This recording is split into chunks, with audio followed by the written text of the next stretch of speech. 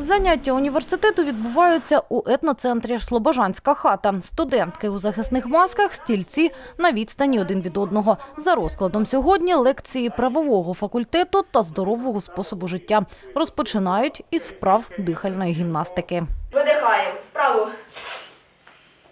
І виходить, ми садимо картошку, ми її викапуємо. Садимо картошку, ми. Можна їх е, подивитися в Ютубі, але е, наші студенти деякі не мають цю змогу. І я вирішила їм розповісти про декілька вправ.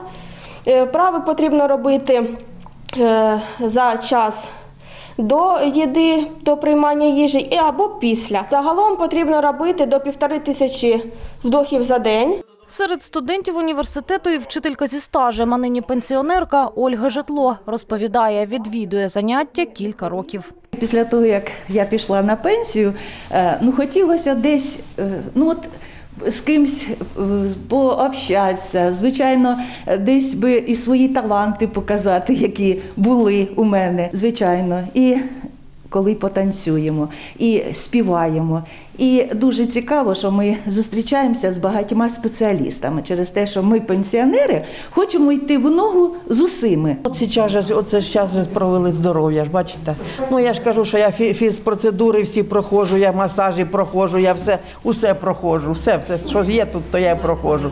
Університет третього віку заснували при Сватівському територіальному центрі соціального обслуговування сім років тому, розповідає директорка Олена Чесних. Тут працює чотири факультети, які нині відвідує 150 пенсіонерів. Через пандемію COVID-19 до розкладу внесли зміни. Ми розділили цих людей на групи і проводимо так понеділок, вівторок і четвер.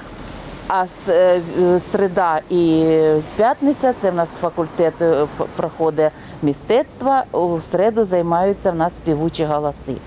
Наступного тижня студенти університету третього віку слухатимуть лекції духовного факультету. Юлія Щербак. Новини на Суспільному.